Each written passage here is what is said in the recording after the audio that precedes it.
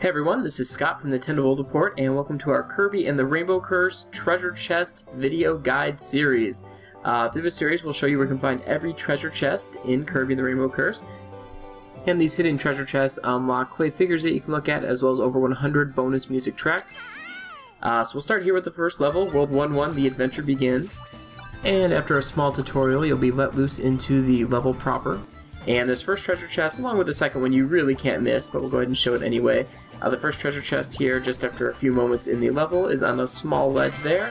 Uh, again, yeah, you, you, can't really miss that one, but it, they do get a little more challenging as we go along here. Uh, after you get that first treasure chest, you just want to keep going. Eventually, you'll enter a door, and you'll wind up in this area. Uh, you've probably already gotten 100 stars by now, but if you haven't, grab these stars right here. And once you have 100 stars, you can go ahead and use Kirby's charge attack.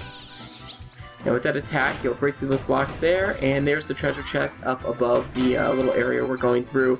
Now, don't worry, if you do happen to go through these blocks and miss it the first time, as you see, you can easily turn around and go back. It doesn't lock you out or anything like that, so you don't have to be too quick on your reflexes there.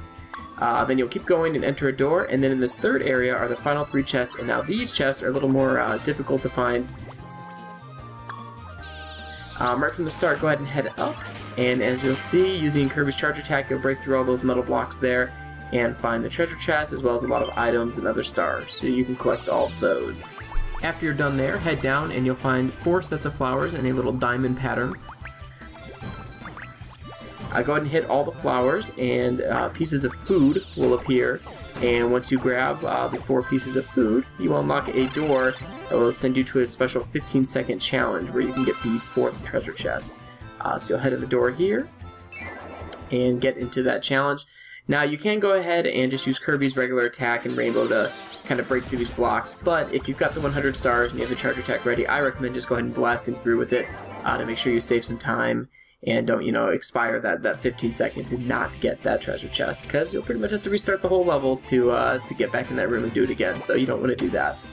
Uh, and then the final treasure chest, just go ahead and head forward, and you will then find yourself at a cannon, which will throw you upward. Uh, you want to grab these flowers here, which will um, uh, make balloons appear with stars, and then the final set of flowers there will make the final set balloons appear, and there is the final treasure chest for this level.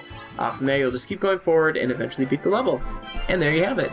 Uh, be sure to click below to watch the video for World 1 2, or check out Nintendo World Report's YouTube page to find our full list of Kirby and the Rainbow Curse guide videos. Thanks for watching!